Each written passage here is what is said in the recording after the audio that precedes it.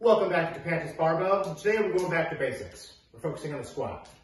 Now I know what you're thinking. I'm way past the bodyweight squat. Well, I got you covered.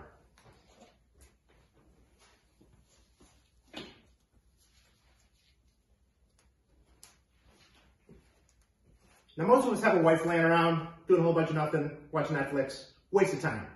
So what we're gonna do is a bodyweight squat with someone else's body weight in addition to our own.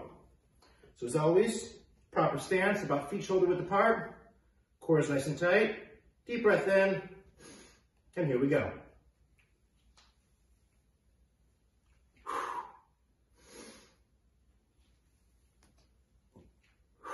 Two, one more.